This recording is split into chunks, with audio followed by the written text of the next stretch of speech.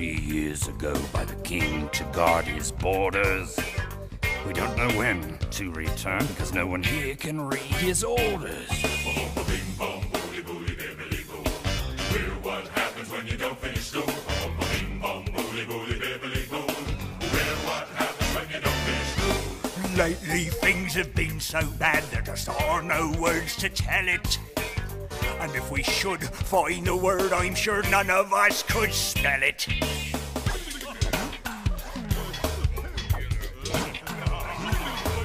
We miss our mothers and our fathers. It's a painful, sad condition. It's hard to tell you just how much. Cause we never learned addition.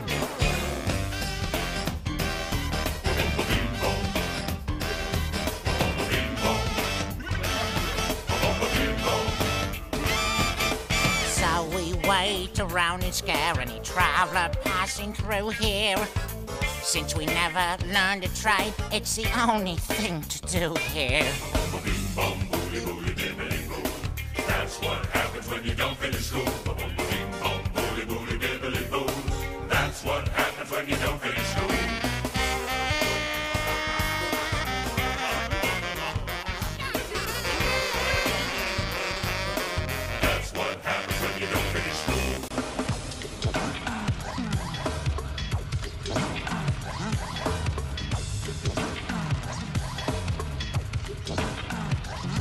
We miss our sisters and our brothers.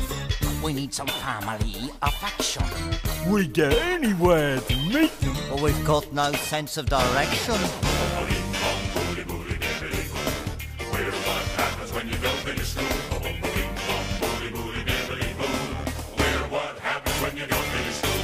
Bing bong booly booly bibbly